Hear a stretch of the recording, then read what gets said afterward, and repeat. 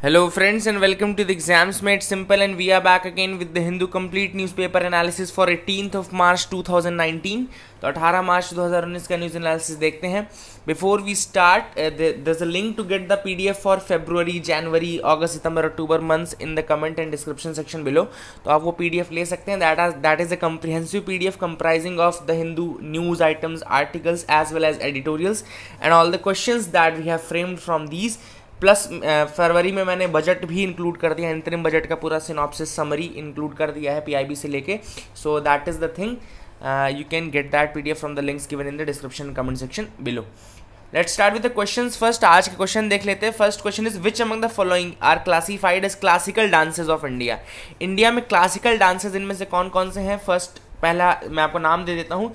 Kathakali second Bharatanatyam third Manipuri, या fourth Sattriya now you have to select the correct code one and two only one two and three only one two and four only या all of the above question number two which among the following countries will host the under seventeen women's football world cup in twenty twenty तो under seventeen women's football world cup twenty twenty कौन सी country organise करेगी? Option are Germany B India C Qatar या D Australia Question number three is, which among the following body is monitoring noise quality across the country under national Ambient Noise programme तो national ambient noise programme के अंतर्गत noise quality को कौन सी body monitor कर रही है? Option are A N G T B C P C B third E P C यानी कि इन्वायरमेंटल पोल्यूशन कंट्रोल अथॉरिटी या D NOTA you have to answer these three question in the comment section below please do try to answer these question and जो भी आपको परेशानी होगी please do tell me also so the first news and the biggest news is coming from the front page only that Pinaki Chandra Ghosh set to become India's first Lokpal तो finally India's first Lokpal हमको मिल गए हैं that is Pinaki Chandra Ghosh and this can be a probable question in most of the prelims examination जो भी अभी होने वाले हैं आस पास में, जिसमें जी एस पूछा जाएगा। याद रखेगा Pinaki Chandra Ghosh is to be India's first Lokpal okay okay? तो जैसा कि मैंने आपको पहले बताया था कि सर्च कमेटी होती है, उसके बाद एक सिलेक्शन कमेटी होती है। और सिलेक्शन कमेटी के मेंबर्स कौन कौन से होते हैं, फिर से एक बार देख लेते हैं। The members of the selection committee are आपके पहले तो प्राइम मिनिस्टर होते हैं the committee is led by prime minister then आपका होता है एक चीफ जस्टिस होता है या उसका कोई नॉमिनी होता है. देन लोकसभा स्पीकर होता है लीडर ऑफ़ द अपोजिशन या फिर मेजोरिटी जो अपोजिशन पार्टी है उसका लीडर होता है. तो ये आपको याद रखना है, ये मेंबर एक एमिनेंट ज्यूरिस्ट होता है. लास्ट में एक एमिनेंट ज्यूरिस्ट भी होता है. तो यहाँ पे देख रहे हैं आपको कि एमिनेंट ज्यूरिस्ट जैसे कि मुगल रोहतगी थे स्पीकर आपको पता है सुमित्रा महाजन थी चीफ जस्टिस रंजन गोगोई थे, है ना? तो ये सारे लोग थे और प्राइम मिनिस्टर लीड करता है उस कमेटी को ओके याद रखेगा और मीटिंग अटेंड किसने नहीं की थी? लीडर ऑफ़ अपोजिशन ने जो कि मल्लिकार्जुन खड़गे थे इस केस में। Because he did not attended the meeting so these these were the important points ये कमेटी का एक तो मेंबरशिप uh, आप याद रखेगा। जो सिलेक्शन कमेटी होता है या तो वो यूपीएससी पूछेगा या फिर आपसे डायरेक्टली पूछ सकता है कि नाम पूछ सकता है। तो Pinaki Chandra Ghosh is set to become India first Lokpal अब लोकपाल जो एक्ट आया था वो कब आया था? एक और चीज़ बता देता हूँ। Lokpal act came into okay two तो ये लोकपाल क्या करेगा? एक ऑम्बुड्समैन की तरह काम करेगा, एक सर्वेलेंस ऑफिसर की तरह काम करेगा एथिक्स ऑफिसर की तरह काम करेगा। So these are the important points regarding this Lokpal काफ़ी इंपॉर्टेंट न्यूज़ है, पिनाकी चंद्रा घोष। पिनाकी चंद्रा घोष के बारे में बता दो he was former supreme court justice former supreme court justice थे जज थे मतलब चीफ जस्टिस नहीं जज थे and he is he is the current member of national human rights commission तो अभी का जो नेशनल ह्यूमन राइट्स कमीशन उसके मेंबर भी हैं पिनाकी चंद्रा घोष याद रखेगा and he is likely to become India first anti corruption ombudsman okay तो एंटी करप्शन ऑम्बुड्समैन बनने की तैयारी हो चुकी है इनके पिनाकी चंद्रा घोष के. सो so, फ्रंट पेज पे दूसरी न्यूज़ है जो है, वो है मनोहर पारिकर बिट सडी मतलब इनकी डेथ हो गई।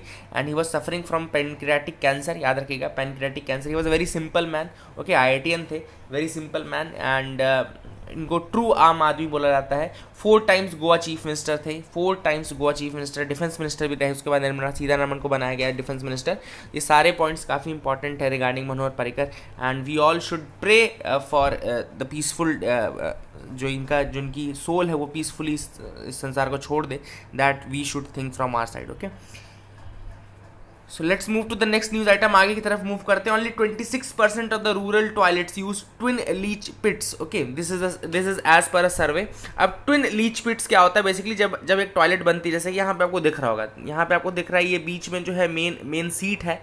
एंड यहाँ पे आपके साइड में दो तरह के दो दो पिट्स दिख रहे होंगे ओके तो what happens is basically let me tell you that ये बहुत इंपॉर्टेंट पॉइंट है। Under the twin pit system what happens is two pits are dug with honeycombed walls okay दो पिट खोदे जाते हैं दो बड़े गड्ढे खोदे जाते हैं like honeycombed walls and earthen floors which allow liquid to percolate into the surrounding soil तो क्या होता है इससे? लिक्विड जो होता है परकोलेट कर लेता है सराउंडिंग सॉइल्स में। And when one pit is filled जब एक पिट फिल हो जाएगा एंड uh, बंद रहेगा then waste will flow and will be transfer to the second pit तो इसका दो पिट का क्या फ़ायदा होता है कि जब एक पिट फिल होता है कंप्लीट होता है तो उसका जो जब अगला जो वेस्ट आता है, वो दूसरे पिट में ट्रांसफ़र हो जाता है. That is transferred to the second pit और इससे क्या होता है जो फ़र्स्ट पिट का वेस्ट है वो कन्वर्ट हो जाता है मैन्योर में क्योंकि एक साल तक के लिए वो फ्री छूट छूटा रहता है क्योंकि तब दूसरे पिट में कन, पूरा कलेक्शन होता है। एंड इससे क्या होता है कि जो फ़र्स्ट पिट है उसका जो वेस्ट है वो कन्वर्ट हो जाता है मैन्योर में। Okay so that is the benefit of having twin pit और अगर ट्विन पिट नहीं रखेंगे आप तो बहुत ज़्यादा क्लीनिनेस इशूज आएँगे मैनुअल स्केवेंजिंग और ज़्यादा बढ़ जाएगी। जो मैनुअल स्केवेंजिंग होती है वो और ज़्यादा बढ़ जाएगी। And only twenty six percent of the rural toilets use twin leach pits तो ये सबसे बड़ा इशू ये है। टू पिट थ्योरी को एक्सेप्ट नहीं कर रहे हैं और टू पिट्स नहीं यूज़ कर रहे हैं जिस कारण कि बहुत ज़्यादा क्लीनिनेस के इशूज़ आ रहे हैं मेंटेनेंस के इशूज़ आ रहे हैं और मैनुअल स्केवेंजिंग और ज़्यादा बढ़ती जा रही है। So all these issues are there I hope आपको क्लैरिटी भी आ गई होगी। काफ़ी इंपॉर्टेंट पॉइंट्स हैं और आपको समझ में आ गया होगा ये, है ना? So let's move to the next pages आगे की तरफ़ मूव करते हैं। मेड इजी के सिलेक्शन नहीं पढ़ने अपने को। योनो कैश याद रखेगा, अगर आपसे कोई पूछे योनो किस बैंक से रिलेटेड है तो एसबीआई जिसको नहीं पता, और जिसको, जिसने एसबीआई का कार्ड लिया होगा, उसके पास तो ऐप ही होगा। ये एस की इंटरनेट बैंकिंग तो भैया माशा जो करते भर में हालत ख़राब हो जाती है ना। तो इसलिए योनो तो ज़रूरी ही रहता है। यू ओनली नीड वन इसका फुल फॉर्म है, ये भी याद रखिएगा। You only need one universal faculty urge to discourage irrelevant research अब देखो रिसर्च के ऊपर ये आर्टिकल है, काफ़ी इंपॉर्टेंट पॉइंट्स उसमें बताए जाएँगे। दो तीन मैं बता देता हूँ आपको रिसर्च रिलेटेड कभी आपको मेंस में क्वेश्चन आ जाए तो आप उसमें लिख लीजिएगा। देखो, क्या है कि बेसिकली रिसर्च एक तो हो नहीं रही है। फ़र्स्ट पॉइंट पहला जो इशू है रिसर्च का ज़्यादा एटमॉस्फेयर है नहीं इंडिया में। दूसरा इशू ये है कि अगर रिसर्च हो भी रही है तो रिपीटेटिव टॉपिक्स पे हो रही है, ना कि नए टॉपिक्स में। मतलब कुछ इनोवेटिव नहीं किया जा रहा है। जो टॉपिक्स ऑलरेडी हो चुके हैं डिस्कस हो चुके हैं, उन्हीं के ऊपर बार बार रिसर्च की जा रही है। तो काफ़ी ज़्यादा टॉपिक जो है वो रिपीट होते जा रहे हैं। तो ये दूसरा इशू हो गया। तीसरा इशू ये है कि इंटायर जीडीपी का तीन परसेंट से भी कम केवल हायर एजुकेशन में दिया जाता है। मतलब जीडीपी का less than three percent higher education के लिए होता है, उसमें भी less than one point five percent research के लिए होता है। तो केवल वन पॉइंट फाइव परसेंट से कम पैसा जो है वो रिसर्च के लिए जाता है। एंड ये हमको बढ़ाने की ज़रूरत है। मोस्ट ऑफ़ द कंट्रीज़ जैसे कि चाइना यूएसए ये रिसर्च में बहुत ज़्यादा पैसा डालती हैं। इसीलिए वहाँ का डिफेंस वहाँ की टेक्नोलॉजी इतनी ज़्यादा साउंड है, इतनी ज़्यादा नई है। And we also need to uh, take up our research in topics like nanotechnology pharma IT engineering nuclear science यहाँ पे हमको ज़्यादा पोटेंशियल है ग्रो करने का और यहीं पे हमको ज़्यादा रिसर्च करनी चाहिए। बट हम वही कर रहे हैं घिसा बेटा रिपीटेटिव टॉपिक्स में रिपीट करते जाएँगे। और प्लेजरिज्म ये सब दूसरे का कॉपी पेस्ट करना हमारी आदत में ही आ गया है ना? तो हम कुछ नया नहीं करना चाहते। Basically that is the issue because of which our research sector R and D जो हमारा है वो बहुत ज़्यादा वीक जाता है ना? तो ये सारी चीज़ें भी हैं। और यही इस आर्टिकल में बताया गया। तो कुछ प्रॉब्लम्स जो रिसर्च हायर एजुकेशन रिसर्च से रिलेटेड है, वो मैंने आपको बता दी है। अब इसमें एक इंपॉर्टेंट फैक्ट इस न्यूज़ आइटम में नेक्स्ट न्यूज़ आइटम ये है कि डिपार्टमेंट ऑफ़ फिशरीज अगर आपसे पूछे किस मिनिस्ट्री के अंदर आता है, कोई पूछे डिपार्टमेंट ऑफ़ फिशरीज किस मिनिस्ट्री के अंदर आता है it comes under the union agriculture ministry remember that agriculture ministry के अंदर आता है फिशरीज अब ऐसा, देखो, क्या मैंने क्यों बताया कि कुछ लोग को मिनिस्ट्री ऑफ़ शिपिंग लगेगा? शिपिंग भी लग सकता है आपको। क्योंकि कन्फ्यूज़न होता है तो ऐसे लगता है ओशियन ओशियन अर्थ साइंसेज ऐसे कुछ डाल देता है और वहाँ कन्फ्यूज़ हो जाते हैं। बट यहाँ पे साफ़ साफ़ जब लिखा हुआ है कि मिनिस्ट्री ऑफ़ एग्रीकल्चर के अंदर आता है डिपार्टमेंट ऑफ़ फिशरीज तो अपने को याद करने में क्या बुराई है? तो डिपार्टमेंट ऑफ़ फिशरीज अगर आपसे कोई पूछे, बिल्कुल धड़ल्ले से क्या आंसर देना है? Ministry of agriculture agriculture ministry okay तो दैट इज़ द थिंग अब यहाँ पे एक नोटिफिकेशन आया है रिगार्डिंग सुचित्व सागरम ओके सुचित्व सागरम जो स्कीम है बेसिकली क्लीन सी इनिशिएटिव उसको बोलते हैं। इसको भी याद रखिएगा। फिशरीज डिपार्टमेंट का है Suchitwa Sagaram. That is clean clean sea initiative अब ये क्या है? Basically it is for keeping the marine environment clean and litter free okay तो जो मैरीन इन्वायरमेंट है, उसे क्लीन रखना है और लिटर फ्री रखना है। तो ये इंपॉर्टेंट है सुचित्व सागरम। सुचित्व सागरम। अब देखो यहाँ पे एक टर्म है इस न्यूज़ आइटम में। ये भी एक्सप्लेन करना ज़रूरी है बाकी लोग स्किप करेंगे क्यों? क्योंकि समझ ही नहीं आता लोगों को भी नहीं समझ में आता तो ये ज़रूरी है। तो अपने को ऐसे टर्म्स को टर्म से डरना नहीं है कि कोई नया टर्म आए तो डर के निकल लिए पतली गली से। अपने को समझना है ना? आ, ये टर्म है M L S that is minimum legal size अब मिनिमम लीगल साइज़ को इन्फोर्स करने की बात सेंटर ने कही है कोस्टल स्टेट्स को। अब ये क्यों कही और क्या है ये बेसिकली तो मिनिमम लीगल साइज़ जो बेसिकली टर्म है वो है कि ऐसी मतलब कितनी मिनिमम थ्रेशोल्ड आप फिशिंग में कर सकते हैं कि जो आपकी फिशेज हैं, वो एक सस्टेनेबल नंबर्स को मेंटेन करके रखें ओके सस्टेनेबल नंबर को मेंटेन कर देखो, ऐसी भी फिशिंग नहीं होनी चाहिए कि एक साथ सारी फ़िश खत्म कर दी आपने ओके ऐसे तो नहीं होना चाहिए ना कि एक साथ आपने सारी फिशिंग खत्म कर दी, क्योंकि that will also have a negative impact उससे भी आपका, आपके इन्वायरमेंट पर भी निगेटिव इम्पैक्ट पड़ेगा और क्लीनिनेस इशूज़ में भी निगेटिव इम्पैक्ट पड़ेगा। तो मिनिमम लीगल साइज़ बेसिकली क्या होता है? एक फिशरीज मैनेजमेंट टूल है। एक फिशरी को मैनेज करने का टूल है, okay? That is the important point. It is a fisheries management tool. That is to keep protect the juvenile fishes तो जो जुवेनाइल फिशेज उनको प्रोटेक्ट करने का टूल है बेसिकली कि आपको कितना किस uh, जो साइज़ है फ़िश कॉट की मतलब जितना आप फ़िश पकड़ रहे हैं जितनी आप मछलियाँ पकड़ रहे हैं उसकी साइज़ को आप कितना रखिए कि बाकी जो फ़िश के नंबर हैं वो भी सही साथ सही साथ चलते रहें मतलब वो भी अपने आप ग्रो करती रहें और ऐसा ना हो कि आप एक बार में सारी फिशिंग कर डालें ओके तो बेसिकली ये है minimum legal size okay that is the important point it sets the smallest size at which a particular species can be legally retained if caught याद रखेगा लीगली रिटेन्ड इफ़ कॉट मतलब smallest size जिसमें कि एक particular species को आप legally retain भी कर सकें और उसको पकड़ते भी रहें okay so this is the minimum legal size so that is the thing कि मिनिमम कितना, आप मतलब कितना पकड़ो कि उसका जो साइज़ है मिनिमम लीगल साइज़ वो भी रिटेन रहे और आप उसको कैच भी कर लो. So that is the minimum legal size okay याद रखिएगा. Department of fisheries and union ये एग्रीकल्चर मिनिस्ट्री याद रखिएगा, इसके अंदर आता है. So that is the thing which is very very important now, let me shut down this first. Okay, so let me turn, कैसे बंद होता है यार? ओके फॉर दिस चलो। Now, let's move to the next news item. आगे की तरफ़ move move करते हैं। तो good response to trials of ocean surveillance ship basically अब इसका देखो, नाम नहीं दिया था इस शिप का बट मैं बता देता हूँ आपको कि ये सी ट्रायल्स हो रहे हैं of India's first and most prestigious missile tracking ocean surveillance ship अब ये missile tracking ocean surveillance ship है मतलब कि ये ओशियन में सर्वेलेंस करेगी कि कहीं से कोई मिसाइल मिसाइल तो नहीं आ रही, कोई अटैक तो नहीं हो रहा है हमारे ऊपर। तो पूरा जो ओशियन रीजन है, हम वैसे भी इंडियन ओशन से घिरे हुए हैं that is very important for us and काफ़ी ज़्यादा इंपॉर्टेंट है तो उसका सर्वेलेंस करना बहुत इंपॉर्टेंट था, इसलिए हमने इंडिया का पहला and most prestigious missile tracking ocean surveillance ship बनाया जो कि डिफेंस मिनिस्ट्री के अंतर्गत आता है हिंदुस्तान शिपयार्ड लिमिटेड, उसने बनाया है।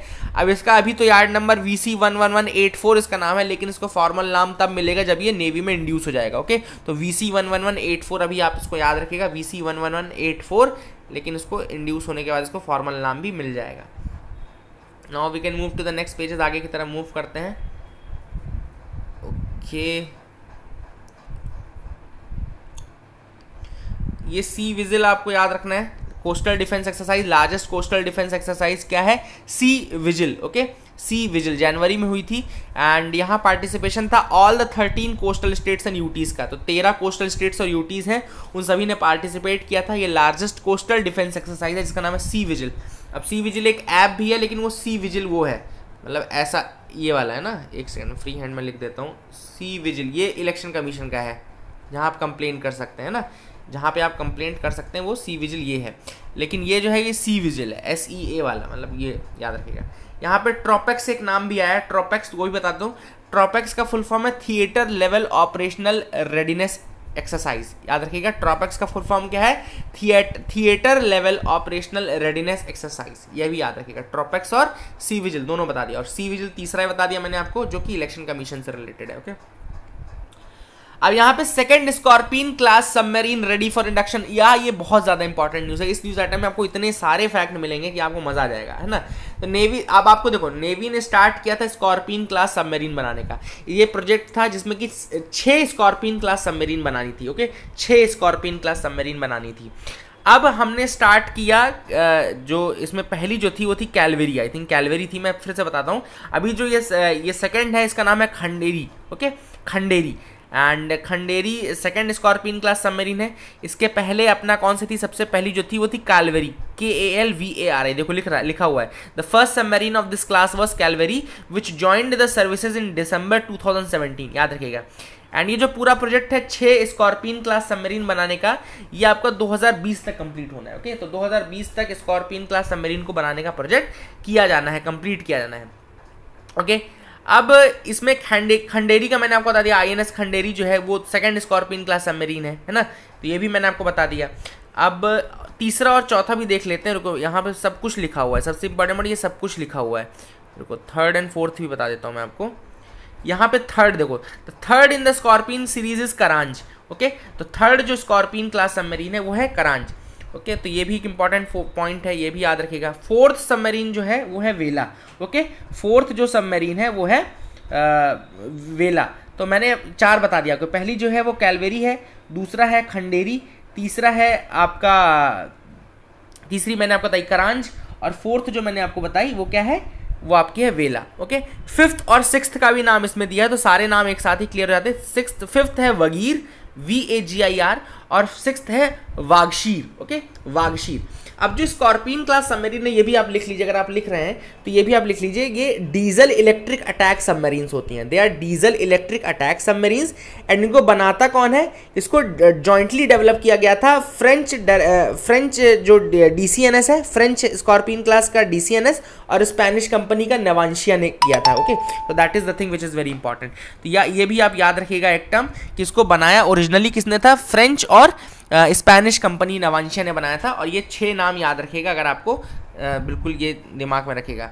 इसी तरीके से H D W class submarine होती हैं, वो जर्मन होती हैं और रशियन किलो क्लास सबमरीन होती है। किलो क्लास अगर आपसे कोई पूछे तो रशियन होती है और अगर एच डी डब्ल्यू क्लास कोई पूछे तो वो जर्मन होती है। तो छः नाम बता दिए स्कॉर्पियन बता दिया मैंने डीजल इलेक्ट्रिक अटैक सबमरीन होती है और मैंने आपको ये बता दिया कि उसके बिल्डर कौन कौन से हैं? डी सी एन एस एक तो फ्रेंच कंपनी है और नवांशिया जो कि स्पेनिश कंपनी है। और इंडिया में इन दोनों की मदद के साथ कौन कौन है? और मजगांव डॉक लिमिटेड इंडिया में अगर देखो तो मजगांव डॉक लिमिटेड और जुड़ जाएगा इंडिया की तरफ़ से इंडिया के लिए specially so that is the important point editorials में आज कोई भी एडिटोरियल काम का तो नहीं था, देखो सही बताऊँ मैं तो पहला क्राइस्ट चर्च मैसेकर के ऊपर था कि जो इसमें थोड़ा सा पॉइंट मैं आपको बता देता हूँ क्राइशियस मैसेकर के ऊपर, कि एक एक व्यक्ति है न्यूजीलैंड का, जो कि ओरिजिनली ऑस्ट्रेलिया से है.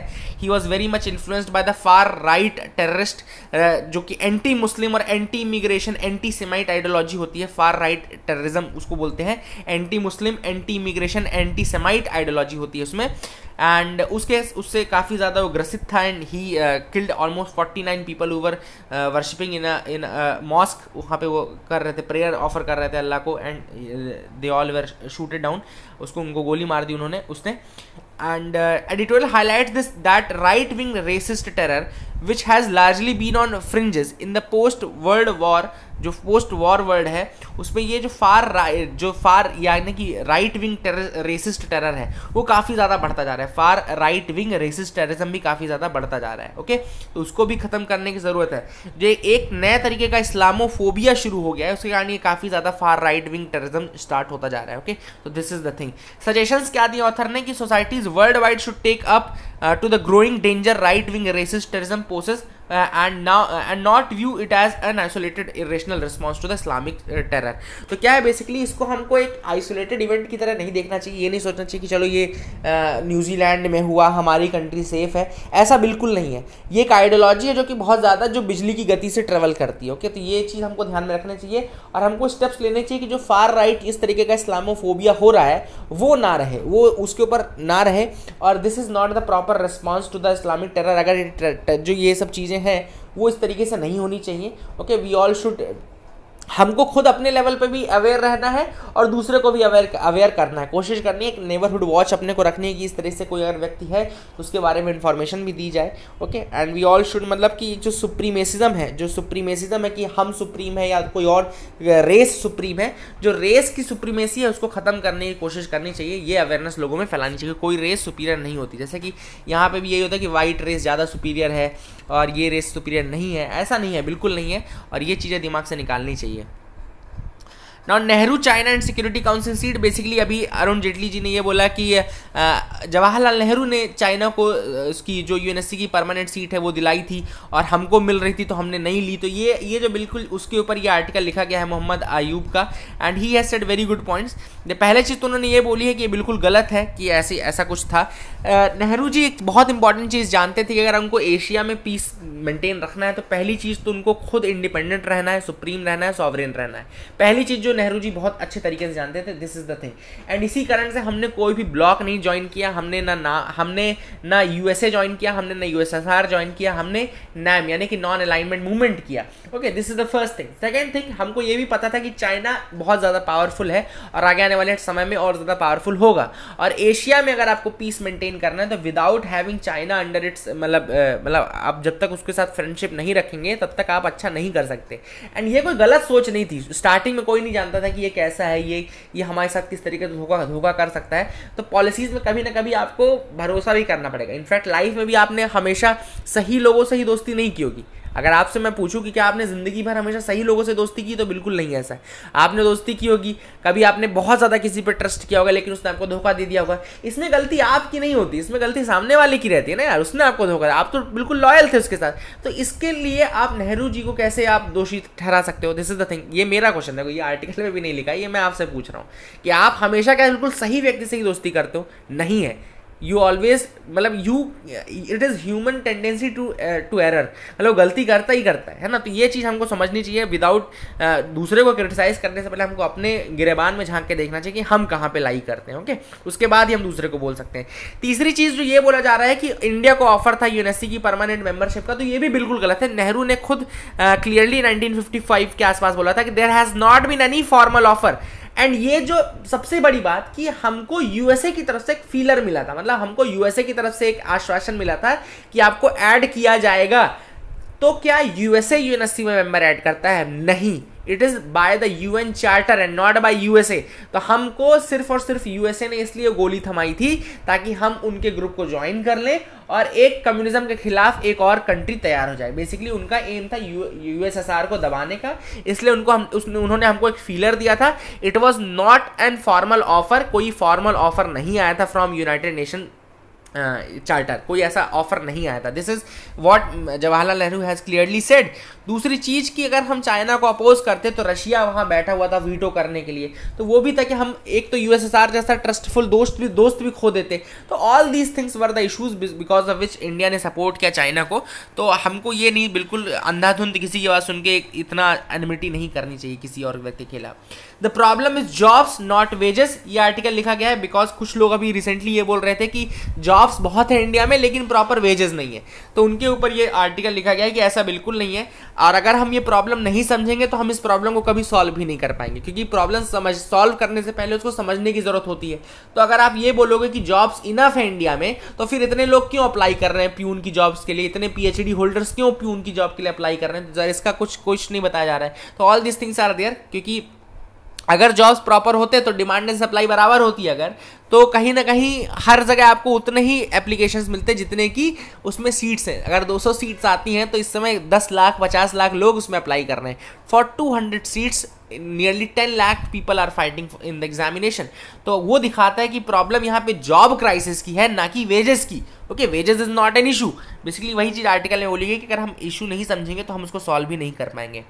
हंग पार्लियामेंट क्या होता है बेसिकली बता देता हूँ। When no party or pre poll alliance pre poll alliance यहाँ पे साफ़ साफ़ लिखा कोई ऐसी पार्टी जब नहीं बना पाती है majority that is not having the complete majority for example अगर अभी 543 लोकसभा सीट्स हैं, उसका 50 परसेंट मतलब कि 272 सीट्स जो है, वो आपको जान, लेना है अगर आपको full majority seat majority party बनानी है तो।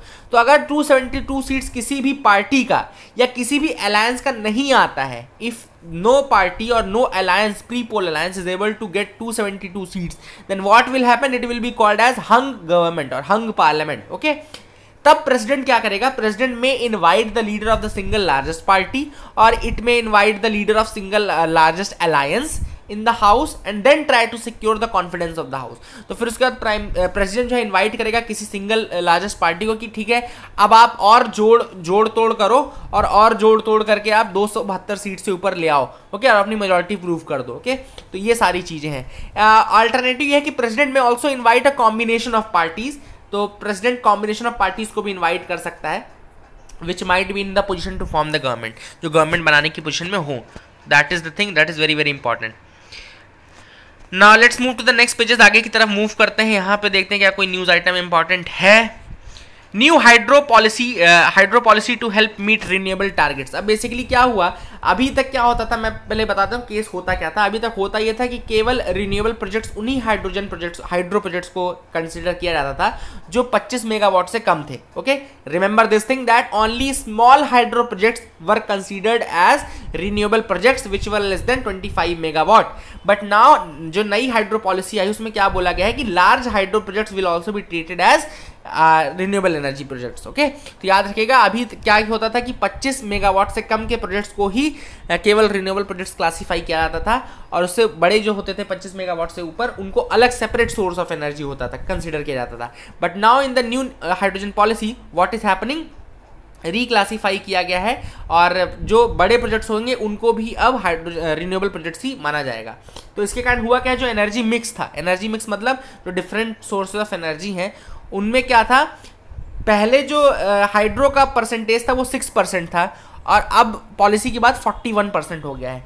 विंड का जो परसेंटेज था, पहले 47 था, अब वो 29 हो गया है। बायो पावर का पहले 12 परसेंट था वो 7 हो गया है। और सोलर का पहले 34 था, वो 21 हो गया है। This is about the energy mix और रिन्यूएबल एनर्जी का पहले 21 परसेंट था, और अब 34 परसेंट हो गया है। तो अगर आपसे कोई पूछे कि रिन्यूएबल एनर्जी कितने परसेंट है टोटल एनर्जी मिक्स का तो वो 34 परसेंट है आफ्टर दिस पॉलिसी चेंज और हाइड्रो उनमें से 41 परसेंट है। तो this is very important okay SEBI ने अभी रिसेंटली चेंज किया है टाइम लिमिट फॉर देखो, दो चीज़ें, एक तो पहले बता दो सेबी ने क्या चेंज किया पहले बता देता हूँ देखो, क्या होता है, कोई भी नई कंपनी खुलती है तो उसका पहले आईपीओ होता है, यानी कि इनिशियल पब्लिक ऑफरिंग होती है इनिशियल पब्लिक ऑफरिंग स्टार्टिंग होती है। उसके बाद क्या होता है इनिशियल पब्लिक ऑफरिंग के बाद कुछ दिनों बाद उसकी लिस्टिंग होती है ओके लिस्टिंग ऑफ़ शेयर्स होता है।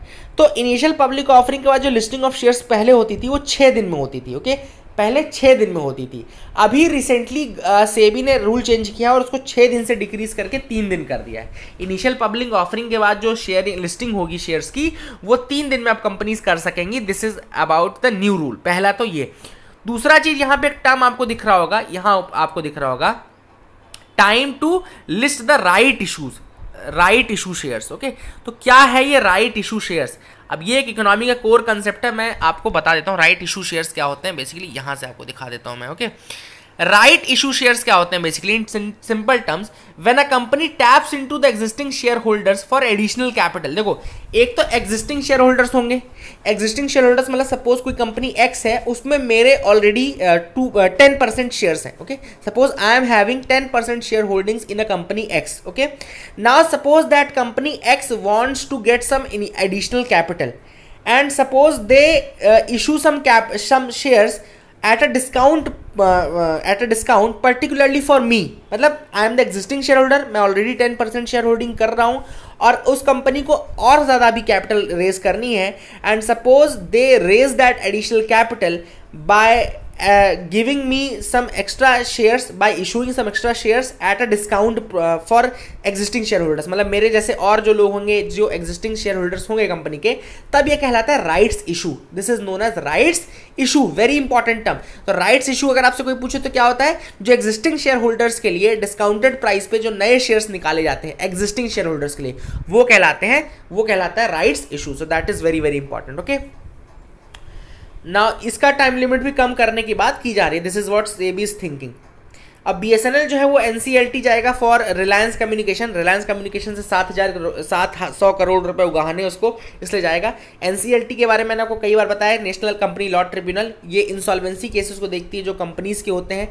और अगर इंडिविजुअल्स के होंगे तो उसको कौन देखेगा? डेट रिकवरी ट्रिब्यूनल देखेगी। कौन सी कमेटी ने NCLT के बारे में रिकमेंडेशन दिया था? तो justice Eradi committee E R A D I committee देखेगा जस्टिस इरादी कमेटी बोलते हैं उसको। उसने किया था कंपनीज़ एक्ट टू में इसका मैंशन है। इंसॉल्वेंसी एंड बैंक कोड दो 2016 में भी है। इसकी अपीलेट बॉडी एनसीएलएटी है। National company law appellate tribunal DRT की जो अपीलेट बॉडी है, वो डीआरएटी है डेट रिकवरी अपीलेट ट्रिब्यूनल यहाँ कॉफ़ी के रिगार्डिंग न्यूज़ थी, इसके बारे में लिख लीजिए। कॉफ़ी बोर्ड ने बताया कि जीआई स्टेटस जो मिला है, वो वायनाड कॉफ़ी को मिला है along with Baba Budangiri Araku valley Coorg and Chikmagalur coffee okay तो याद रखिएगा Wayanad coffee along with Baba Budangiri coffee Araku valley coffee Coorg and Chikmagalur coffee ये इसके याद रखिएगा। है ना? ये ये सब याद रखिएगा इनको जीआई टैग मिला है okay so that is the thing और आगे मुड़ जाते हैं आगे की तरफ़ कोई न्यूज़ आइटम है कि नहीं देख लेते हैं। हम्म, यहाँ पे इवेंटस हार गया। बार्सिलोना का मैनचेस्टर यूनाइटेड साथ मैच है। A viable alternative to open heart surgery तो ओपन हार्ट सर्जरी का एक नया अल्टरनेटिव आया इसका नाम याद रखिएगा टी ए वी आर तेवर ओके या जो भी आपको बोलना है। टी ए वी आर अगर आपसे पूछे ऐसे यूपीएससी पूछता है ना कि T A V R was recently news what is it तो याद रखिएगा it's a alternative to open heart surgery open heart surgery का अल्टरनेटिव है। इसको बोलते हैं transcatheter aortic valve replacement transcatheter catheter aortic valve replacement याद रखेगा this is the thing okay so that is it for the day. I hope you liked our video. Please do like share subscribe. Keep loving us. Keep sharing us. And thank you and have a nice day